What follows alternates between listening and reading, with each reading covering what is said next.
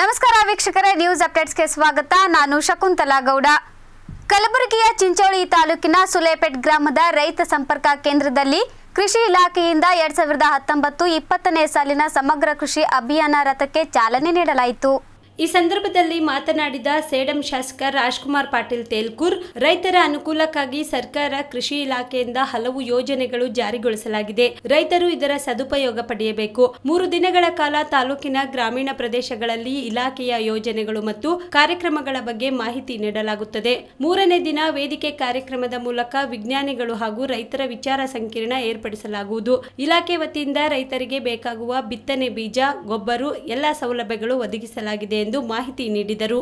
ADA Anil Kumar Rathore ಮಾತನಾಡಿ, ಕೃಷಿ ಸಂಬಂಧಿಸಿದ ಹಾಗೂ ಇತರ ಇಲಾಖೆಗಳ ಬಗ್ಗೆ ಸಮಗ್ರ ಮಾಹಿತಿಯನ್ನ ಒಳಗೊಂಡ ರಥವು ಸುಲೇಪೇಟ್ ಹೋಬಳಿಯ ಎಲ್ಲಾ ಗ್ರಾಮಗಳಿಗೆ ಸಂಚರಿಸಿ ಕೃಷಿ ಹಾಗೂ ಇತರೆ ಅಭಿವೃದ್ಧಿ ಇಲಾಖೆಯ ಯೋಜನೆಗಳ ಮಾಹಿತಿಯನ್ನು ರೈತರಿಗೆ ತಿಳಿಸಲಾಗುವುದು ಎಂದರು.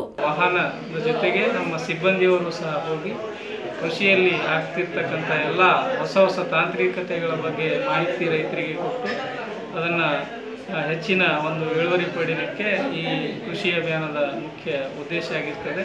ಹಾಗೆಯೇ ಎರಡು ದಿವಸ ನಂತರ ಮತ್ತೆ ಮೂರನೇ ದಿವಸ ತಂತ್ರಜ್ಞರು ಮತ್ತು ಕೃಷಿ ವಿಜ್ಞಾನಿಗಳ ಜೊತೆಗೆ ಒಂದು ರೈತರು ಮತ್ತು ಕೃಷಿ ವಿಜ್ಞಾನಿಗಳ ಒಂದು ಸಂವಾದ ಕಾರ್ಯಕ್ರಮ ಇರ್ತದೆ. ಅದರಲ್ಲೂ ಸಹ ಈ ಎಲ್ಲ ರೈತ ಸಂಪರ್ಕ ಕೇಂದ್ರಗಳಲ್ಲಿ ಇವತ್ತು ರೈತರಿಗೋಸ್ಕರ ಒದಗಿಸ್ಕೊಡ್ತಕ್ಕಂಥ ಕೆಲಸ ಇವತ್ತು ಕರ್ನಾಟಕ ಸರ್ಕಾರ ಮಾಡ್ತಾ ಇದೆ. ಆ ನಿಟ್ಟಿನಲ್ಲಿ ಕೇಂದ್ರ ಮತ್ತು ರಾಜ್ಯ ಸರ್ಕಾರದ ಎಲ್ಲ ಯೋಜನೆಗಳನ್ನು ಈ ಒಂದು ರಥ ಯಾತ್ರೆಯ ಮುಖಾಂತರ ಜನರಿಗೆ ಮನವರಿಕೆ ಮಾಡಿಕೊಡುವಂಥದ್ದು, ತಿಳುವಳಿಕೆಯನ್ನು ಮಾಡಿಕೊಡುವಂಥ ಕೆಲಸ ಈ ರೈತ ಅಭಿಯಾನ ಕೇಂದ್ರಗಳಲ್ಲಿ ಮುಖಾಂತರ ನಡೀತಾ ಇದೆ. ಹಾಗಾಗಿ ರೈತರು, ಈ ಭಾಗದ ರೈತರು ಈ ಮೂರ್ನಾಲ್ಕು ದಿವಸಗಳ ಕಾಲ ಏನು ನಡೀತಾ ಇರ್ತಕ್ಕಂಥ ಅಭಿಯಾನದ ಸದುಪಯೋಗವನ್ನು ತಗೋಬೇಕು ಮತ್ತು ಅಕ್ರಮ ಮರಳು ದಾಸ್ತಾನು ಆರೋಪ ಹತ್ತಕ್ಕೂ ಹೆಚ್ಚು ಮರಳು ಟಿಪ್ಪರ್ಗಳನ್ನು ವಶಕ್ಕೆ ಪಡೆಯಲಾಗಿದೆ. ಕಲಬುರಗಿಯ ಚುಂಚೋಳಿ ತಾಲೂಕಿನ ಹಲ್ಕೋಡ್ ಗ್ರಾಮದ ಹತ್ತಿರ ಸರ್ವೆ ನಂಬರ್ ನೂರ ಐವತ್ತೊಂದು ಬಾರ್ ಒಂದರಲ್ಲಿ ಅಕ್ರಮವಾಗಿ ದಾಸ್ತಾನು ಮಾಡಿದ್ದ ಎನ್ನಲಾದ ಸುಮಾರು ಹತ್ತಕ್ಕೂ ಹೆಚ್ಚು ಟಿಪ್ಪರ್ ಮರಳನ್ನ ತಹಸೀಲ್ದಾರ್ ಪಂಡಿತ್ ಬಿರಾದಾರ್ ಹಾಗೂ ಅಧಿಕಾರಿಗಳ ತಂಡ ವಶಪಡಿಸಿಕೊಂಡಿದೆ. ದೂರಿನ ಮೇರೆಗೆ ನಾವು ಇಲ್ಲಿ ಬಂದು ನೋಡಿದಾಗ ಸುಮಾರು ಹತ್ತಕ್ಕೂ ಹೆಚ್ಚು ಟಿಪ್ಪರ್ ಮರಳನ್ನು ಹೊಲದಲ್ಲಿ ಸಂಗ್ರಹ ಮಾಡಿದ್ದಾರೆ. ಯಾರು ಮಾಡಿದ್ದಾರೆ ಎಂಬುದರ ಬಗ್ಗೆ ಖಚಿತ ಮಾಹಿತಿ ಇಲ್ಲ. ಇದರ ಬಗ್ಗೆ ಪರಿಶೀಲನೆ ಮಾಡಲಾಗುವುದು. ಲೋಕೋಪಯೋಗಿ ಇಲಾಖೆಗೆ ಒಪ್ಪಿಸಲಾಗುವುದು. ಸರ್ಕಾರಿ ಕೆಲಸಕ್ಕಾಗಿ ಬಳಕೆ ಮಾಡಲಾಗುವುದು ಎಂದು ಹೇಳಿದ್ದಾರೆ.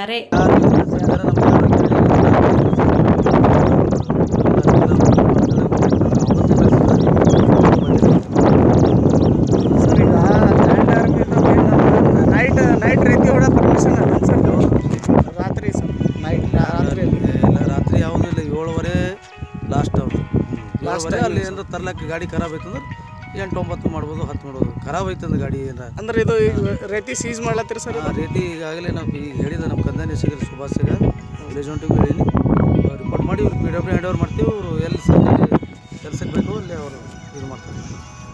ಸೀದಾ ಎಂತ ಸೀಸ್ ಮಾಡಿ ಗೌರ್ಮೆಂಟ್ ಹ್ಯಾಂಡ್ ಓವರ್ ಹಾಂ ಈಗ ಸರ್ಕಾರ ಈಗ ಪಿ ಡಬ್ಲ್ಯೂ ಅಂದ್ರೆ ಅವ್ರು ಸರ್ಕಾರ ಇಡವ್ರಿ ಅವರೇ ಇದ್ರದ್ದು. ಟೋಟಲ್ ಎಷ್ಟು ಬರ ಸರ್? ಇದು ಏಳು ಟಿಪ್ಪರ್ ಅಂತ ಹೇಳ್ತಾರೆ. ಎಷ್ಟು ಎಷ್ಟು ಮೂಲ ಸರ್ ಎಷ್ಟು ಮೂಲ ಆಗ್ಬೋದು ಅಂದಾಜ ಸರ್ ಬರೀ ಶನಿವಾರ ಸರ್ ಶನಿವಾರ ಶನಿವಾರ ಜಿ ಟ್ವೆಂಟಿ ಶೃಂಗಸಭೆ ವ್ಯಾಪಾರ ರಕ್ಷಣೆ ಫೈವ್ ಜಿ ಕುರಿತು ಪ್ರಧಾನಿ ಮೋದಿ ಅಮೆರಿಕ ಅಧ್ಯಕ್ಷ ಟ್ರಂಪ್ ಮಾತುಕತೆ.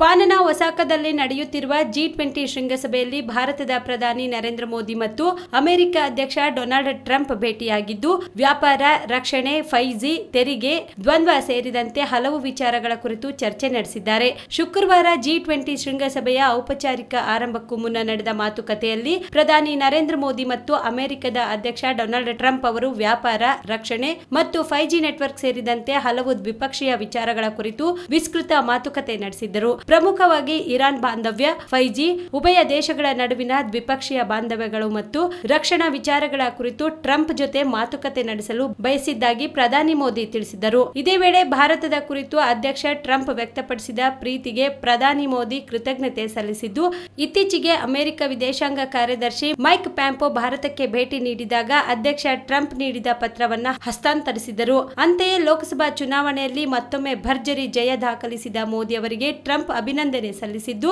ಅದು ಬಹಳ ದೊಡ್ಡ ಗೆಲುವು ನಿಮಗೆ ಅರ್ಹವಾಗಿ ಸಂದಿದೆ ನೀವು ಬಹಳ ದೊಡ್ಡ ಸಾಧನ ಮಾಡಿದ್ದೀರಿ ಎಂದು ಶ್ಲಾಘಿಸಿದ್ದಾರೆ Well, it's a great honor to be here, and my two very good friends, we've gotten to know each other very well over the last short period of time, and you and I are going to be meeting separately after this meeting. But Prime Minister Modi, thank you very much, and congratulations on your great victory.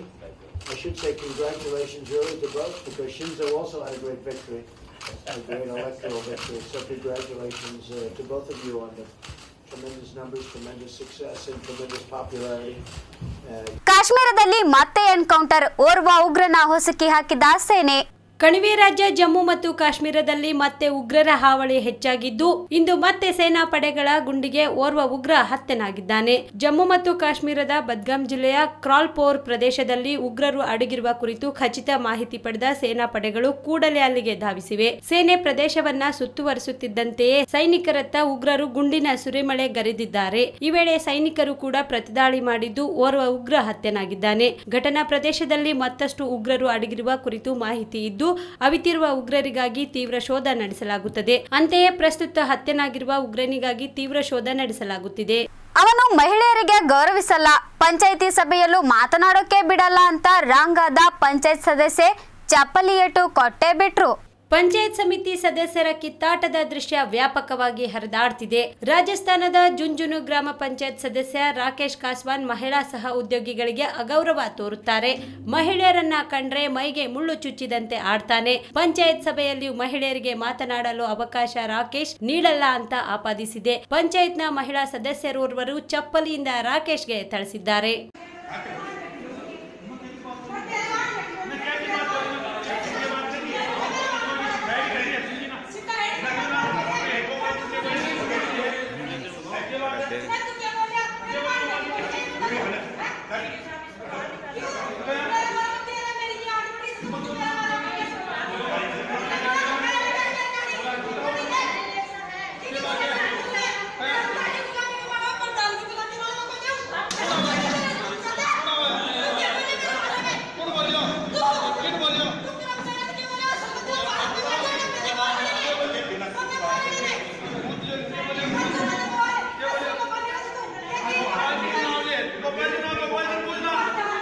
Tick talk video ಮಾಡಿ ಸರ್ಕಾರಿ ಕೆಲಸಕ್ಕೆ ಕೂತು ತಂದುಕೊಂಡ ನಾಲ್ವರು nurse. ಎಲ್ಲೆಡೆ ಸಾಕಷ್ಟು ಸಂಚಲನ ಸೃಷ್ಟಿ ಮಾಡಿರುವ ಟಿಕ್ ಟಾಕ್ ಆಪ್ನಿಂದ ದಿನಕ್ಕೊಂದು ಎಡವಟ್ಟು ಪ್ರಕರಣಗಳು ಬೆಳಕಿಗೆ ಬರುತ್ತಲೇ ಇದೆ. ಇದೀಗ ನಾಲ್ವರು ನರ್ಸ್ಗಳು ಆಸ್ಪತ್ರೆಯ ಒಳಗೆ ಟಿಕ್ ಟಾಕ್ ಮಾಡುವ ಮೂಲಕ ಆಡಳಿತ ಮಂಡಳಿಯ ಕೆಂಗಣ್ಣಿಗೆ ಗುರಿಯಾಗಿದ್ದಾರೆ. ನಾಲ್ವರು ನರ್ಸ್ಗಳ ಒಡಿಶಾದ ಮಲ್ಕಂಗಿರಿಯಲ್ಲಿರುವ ಜಿಲ್ಲಾ ಆಸ್ಪತ್ರೆಯ ವಿಶೇಷ ನವಜಾತ ಆರೈಕೆ ಘಟಕದಲ್ಲಿಯೇ ಟಿಕ್ ಟಾಕ್ ಮಾಡಿ ಸಾಮಾಜಿಕ ಜಾಲತಾಣದಲ್ಲಿ ಹರಿಬಿಟ್ಟಿದ್ದರು. ಈ ವಿಡಿಯೋ ಎಲ್ಲೆಡೆ ವೈರಲ್ ಕೂಡ ಆಗಿತ್ತು. ಇದನ್ನ ಗಮನಿಸಿರುವ ಆಸ್ಪತ್ರೆಯ ಆಡಳಿತ ಮಂಡಳಿಯ ನಾಲ್ವರು ನರ್ಸರನ್ನು ರಜೆ ಮೇಲೆ ತೆರಳುವಂತೆ ಆದೇಶಿಸಿದ್ದಾರೆ. ಜಿಲ್ಲೆಯ ಮುಖ್ಯ ವೈದ್ಯಾಧಿಕಾರಿ ಅಜಿತ್ ಕುಮಾರ್ ಮೋಹಿಂತ್ ಅವರು ಶಿಫಾರಸ್ಸಿನ ಮೇರೆಗೆ ಮಲ್ಕಂಗಿಯ ಜಿಲ್ಲಾ ಮ್ಯಾಜಿಸ್ಟರಿ ಮನೀಶ್ ಅಗ್ರವಾಲ್ ಅವರು ರಜೆ ಮೇಲೆ ತೆರಳುವಂತೆ ನರ್ಸ್ಗಳಿಗೆ ಆದೇಶ ಹೊರಡಿಸಿದ್ದಾರೆ. ಈ ಪ್ರಕರಣದ ಬಗ್ಗೆ ತನಿಖೆ ನಡೆಸಲು ವಿಶೇಷ ಸಮಿತಿಯನ್ನು ರಚಿಸಲಾಗಿದ್ದು, ತನಿಖಾ ವರದಿಯ ಬಳಿಕ ನಾಲ್ವರ ವಿರುದ್ಧ ಕಠಿಣ ಕ್ರಮ ಕೈಗೊಳ್ಳಲಾಗುವುದು ಎಂದು ಅಧಿಕಾರಿಗಳು ಮಾಹಿತಿ ನೀಡಿದ್ದಾರೆ. ನಾಲ್ವರು ನರ್ಸ್ಗಳನ್ನ ರುಬಿರೆ ತಾಪ್ಸಿ ಬಿಸ್ವಾಸ್ ಸ್ವಪ್ನ ಬಾಲ ಮತ್ತು ನಂದಿನಿ ರಾಯ್ ಎಂದು ಗುರುತಿಸಲಾಗಿದೆ ವಿಶೇಷ ನವಜಾತ ಆರೈಕೆ ಘಟಕದಲ್ಲಿಯೇ ಟಿಕ್ಟಾಕ್ ವಿಡಿಯೋ ಮಾಡಿ ಅತಿ ವೈದ್ಯಕೀಯ ಉದಾಸೀನತೆಯನ್ನ ತೋರಿದ್ದಾರೆ ಎಂದು ಆರೋಪ ವ್ಯಕ್ತವಾಗಿದೆ इसको दुआ में मांगा तू है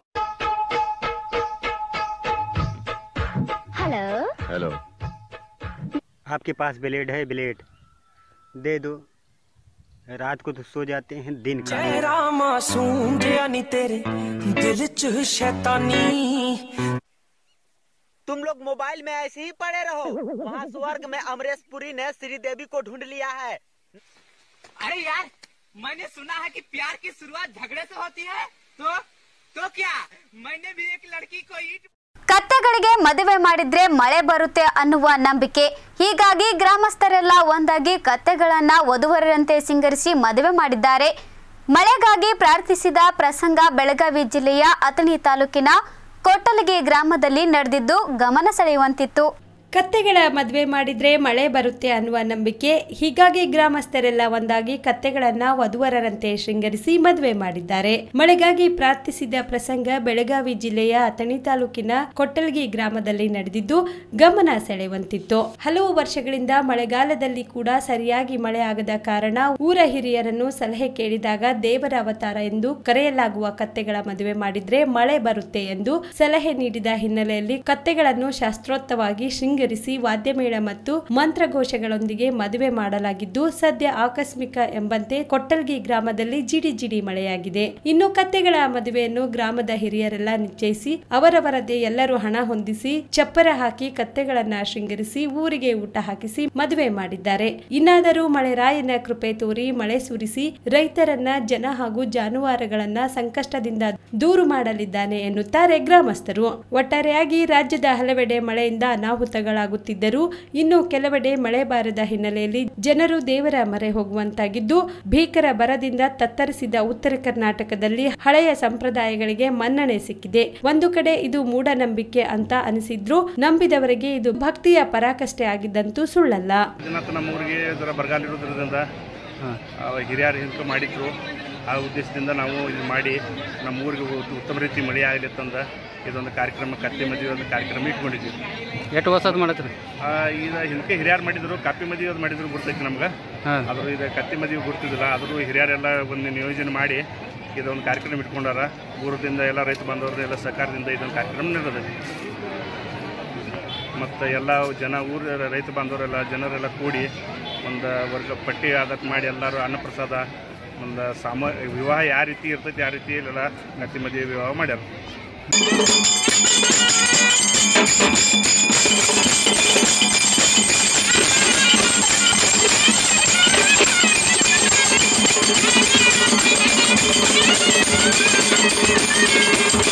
ಅಂದರೆ ಇವತ್ತಿನ ದಿವಸ ಒಂದು ಮಳೆ ಮಳೆರಾಯನ ಬರುವಿಕೆಯಾಗಿ ಆ ಮಳೆರಾಯನಲ್ಲಿ ಸಮಸ್ತ ಕೊಸಲಿ ಗ್ರಾಮದ ಜನತೆ ಒಂದು ನಯ ವಿನಯ ಭಯ ಭಕ್ತಿಯಿಂದ ಈ ಒಂದು ಕತ್ತೆಯ ಲಗ್ನವನ್ನು ಮಾಡಲು ನಿರ್ಣಯ ಮಾಡಿ ಇವತ್ತಿನ ದಿವಸ ಸಕಲ ಜನರು ಕೂಡಿಕೊಂಡು ಸಕಲ ವಾದ್ಯಗಳೊಂದಿಗೆ ಕಟ್ಟೆಯ ಮದುವೆಯನ್ನು ಸಾಂಪ್ರದಾಯ ಪ್ರಕಾರ ಧಾರ್ಮಿಕವಾಗಿ ನಾವು ಮಾಡಿದ್ದಕ್ಕಾಗಿ ಕೊಟ್ಟಲಿಗೆ ಗ್ರಾಮಕ್ಕೆ ಆ ಬಳಿರಾಯನು ಕಣ್ಣು ತೆರೆದು ಸ್ವಲ್ಪ ಪ್ರಮಾಣ ಇವತ್ತಿನ ದಿವಸ ಮಳೆಯಾಗೈತಿ ಅದಕ್ಕೆ ಎಲ್ಲ ಕೊಟ್ಟಲಿ ಜನತೆ ಒಳ್ಳೆಯ ಒಂದು ಹರ್ಷೋದ್ಧಾರ, ಹರ್ಷೋದ್ಧಾರದಿಂದ ಇವತ್ತಿನ ದಿವಸ ಅನ್ನ ಪ್ರಸಾದವನ್ನು ಕೂಡ ಏರ್- ಏರ್ಪಡಿಸಿ ಸಮಸ್ತ ಕೊಟ್ಟಲಿ ಗ್ರಾಮದ ಎಲ್ಲ ಜನರು. ಅವರಿವರಿಂದ ಎಲ್ಲರೂ ಒಂದುಗೂಡಿ ಒಕ್ಕಟ್ಟಿನಿಂದ ಒಳ್ಳೆಯ ವಿಜೃಂಭಣೆಯಿಂದ ಈ ಕಟ್ಟೆ ಮಾಡಿ ಮಾಡಿದ್ದೇವೆ ಅಂತ ಹೇಳೋದಕ್ಕೆ ಒಳ್ಳೆಯ ನನಗೆ ಸಂತೋಷವಾಗುತ್ತೆ ಮೈಸೂರು, ಬೆಂಗಳೂರಿಗೆ ಮಹಿಳಾ ವಿಶೇಷ ರೈಲು ಬೇಕು. ರೈಲ್ವೆ ಇಲಾಖೆಗೆ ಸಂಸದೆ ಸುಮಲತಾ ಅಂಬರೀಶ್ ಮನವಿ.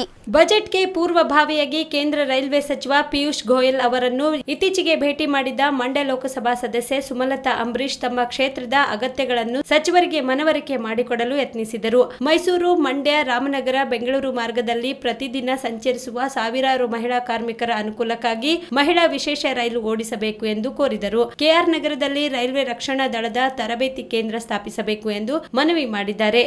ಕೆಲಸಕ್ಕಾಗಿ ಊರಿಂದ ಊರಿಗೆ ಓಡಾಡುವ ಮಹಿಳೆಯರಿಗೆ ರೈಲ್ವೆ ಇಲಾಖೆ ಅಗತ್ಯ ಭದ್ರತೆ ಒದಗಿಸಬೇಕು.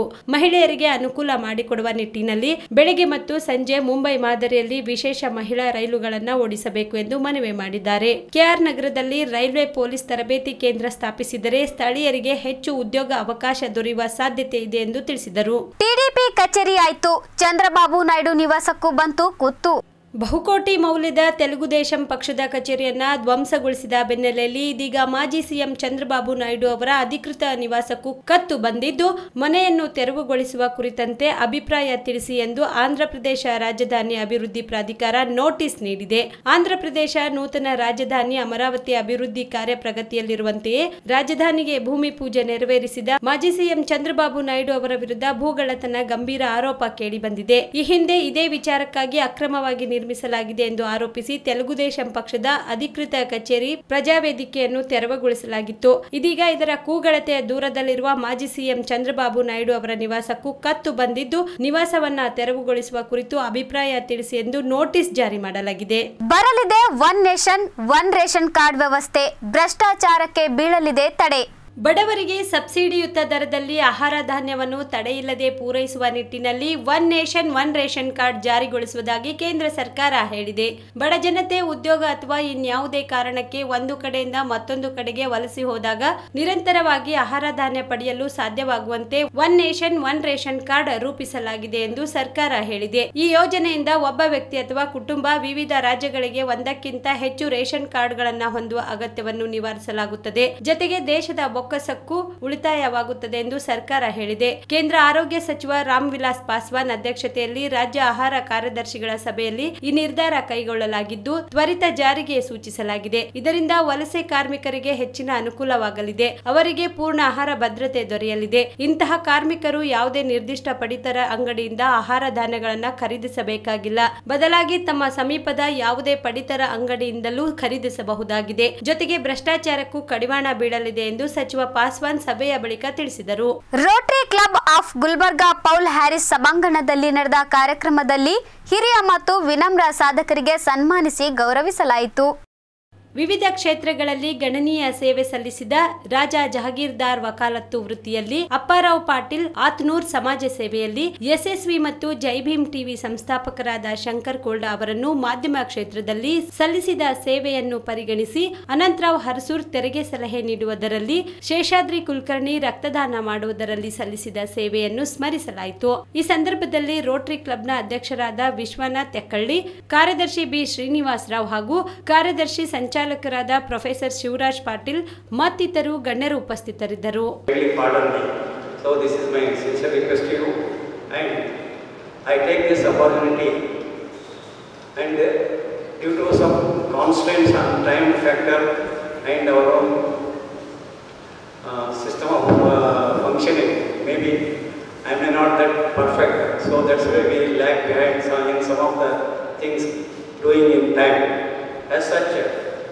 we have taken an advantage by now starting a new, a new chapter that is know your own, our own Rotarians, recognizing our own talents and uh, appreciating the uh, good qualities, good work done by our own Rotarians. That was suggested by one of our PDGs and uh, senior Rotarians also, we have taken. And as far as possible, we, we were doing